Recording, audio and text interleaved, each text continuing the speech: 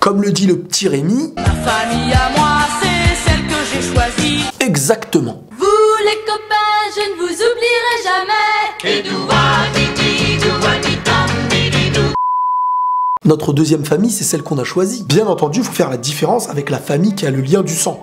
Celle qui nous a donné naissance, celle avec qui on vit, celle qui nous accompagnera un petit peu toute notre route dans la vie, quoi. Celle qu'on se doit d'aimer, de chérir, de partager, d'avancer avec. L'amitié, pour moi, c'est pas un mot juste. Pour moi, la fraternité représente bien plus l'amitié qu'elle-même. Et en plus, j'espère qu'elle m'aime. Jeu de mots 5 étoiles et demi. Ah, l'amitié. Ceux qu'on a choisis, ceux qui nous ont choisis, ceux avec qui on partagera une grande partie de la vie si ce n'est toute notre vie. Ceux pour qui aussi on dira je m'en fiche quand on les perdra, mais il suffira de quelques heures ensuite pour se remémorer tous les bons moments passés. Tout plein de souvenirs. Quand on était en maternelle et que tu me tapais comme une victime. Quand en CP j'ai pris ma revanche et que je me suis bien défendu. Celui avec qui t'es parti en vacances. Celui avec qui t'as regardé les plus grands matchs de foot à la télé, accompagné d'une pizza ou d'un sandwich grec, celui avec qui tu parlais jusqu'à 7h du matin sur MSN Messenger. T'as connu ça toi? Cette amitié, cette fraternité qui peut exister à 2, 3, 4, 5, 6. Il n'y a pas de limite pour cette famille. Parfois tout commençait par un mauvais regard, une mauvaise appréciation, un jugement. Et en 2016, c'est devenu ton best poteau. Pour moi, l'amitié, c'est très important.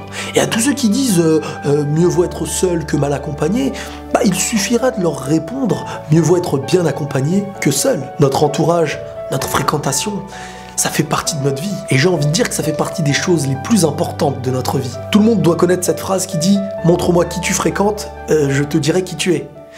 J'espère sincèrement que cette phrase est fausse parce que quand je vois réellement certains de mes amis, mais je les aime.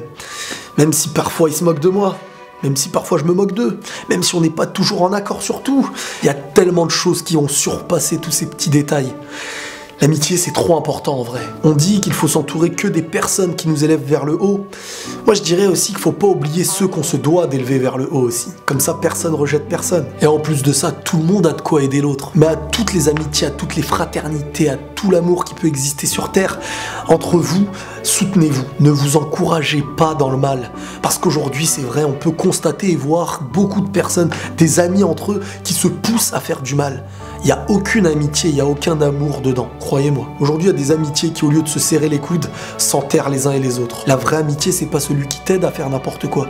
C'est celui qui te relève pour que tu fasses le meilleur. Les parents aiment leurs enfants, pourtant, est-ce qu'ils les accompagnent dans leurs bêtises? L'amitié, ça devrait être pareil. Aujourd'hui, tu fais une bêtise que ton ami vient te rappeler. Demain, il fera une bêtise que tu iras lui rappeler. Normalement, c'est comme ça. Regardez Sangoku avec Vegeta. Il l'a tiré vers le haut.